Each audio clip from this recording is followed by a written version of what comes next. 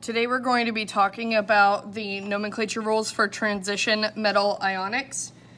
Now, this is going to be different than the representative binaries, as transition metals are not going to be in the first two columns of my periodic table. Instead, my transition metals are going to be anything that is a metal that is not in the first two columns. So basically, if it is to the left of the, of the stair-step line, and it's not in the first two columns, it is going to be a transition metal. Now with my transition metal ionics, it's important to know that my transition metals can change how many electrons they lose. So their charge, otherwise known as their oxidative state, has to be calculated every single time.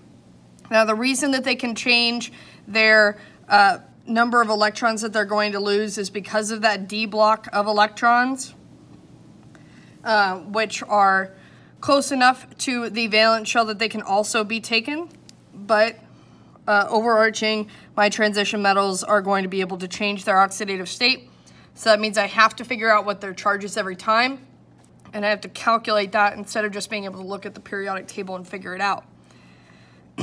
so for oxidative state calculations, I'm always going to start with my anion first.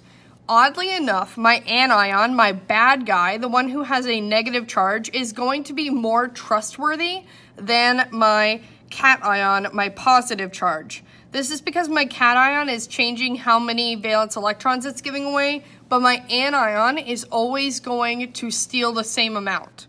It's kind of like the difference between uh, like your friend who will lend you whatever money that they have versus your friend that's always 15 minutes late. Like you don't know how much your friend is going to lend you today for lunch, but you do know that you have to tell your friend Sarah that the movie starts 15 minutes before it actually does so that she makes it in, on time for the movie. So I always have to start with my anion. And just as a reminder again, since I need a net charge of zero, my total charge for my cation has to be equal and opposite that of my anion. And that's how I'm actually going to be able to figure out what my cation's charge is going to be. So I have a handy dandy little formula here for how to figure out what the charges are for the cation for anything that is going to be a transition metal.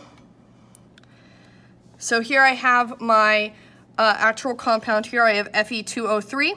My anion is going to be oxygen. It's coming second, and I will deal with that first. So I have a sort of formula here. I have subscript charge and then my total charge. And I'm going to figure out my anion's information first, and that will help me with my cation. So my anion's subscript is 3. And my anion is oxygen. So I can go to the periodic table. I can see that oxygen is in column 6, which means it has 6 valence electrons, which means I'm going to go ahead and steal 2 valence electrons. So its charge is going to be negative 2. And then I'm going to go ahead and multiply 3 and negative 2, and that's going to give me negative 6. Now, since my total charge for my cation has to be equal and opposite of my anion, I can go ahead and say, what is the opposite of negative 6? Oh, well, positive 6. Then I can figure out for my cation, my subscript for my cation is 2. And that means that my only missing piece of information here is going to be my individual ions or iron's charge. And I can figure that out by saying, okay, well, what is 2 times something? And it's going to give me positive 6. Oh, I know. Positive 3. Okay, so now that I have that information, I can go ahead and use it. Now my charge here, the one that is in parentheses, that is going to be my oxidative state for my cation.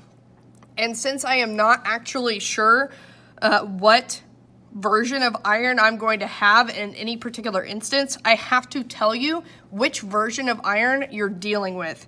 And I'm gonna do that by stating the charge of my cation using Roman numerals in the actual name of the compound.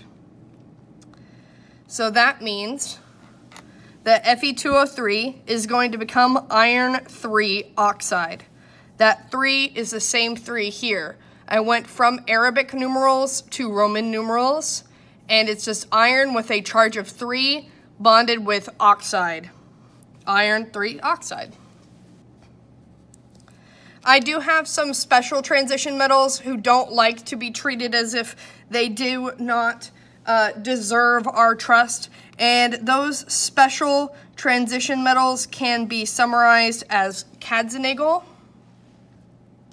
That is a shorthand for them. That is going to be cadmium, zinc, silver, and aluminum. Cadmium always has a charge of plus two.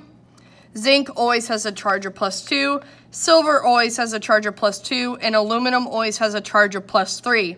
Since they always have these charges, they get to be treated as if they were a representative metal, which means I am not going to give you any Roman numerals at all. Now, how you can actually remember what Cad, uh, what Katzenegel's charge is going to be, you can actually find them on the periodic table, and they will form kind of a stair step.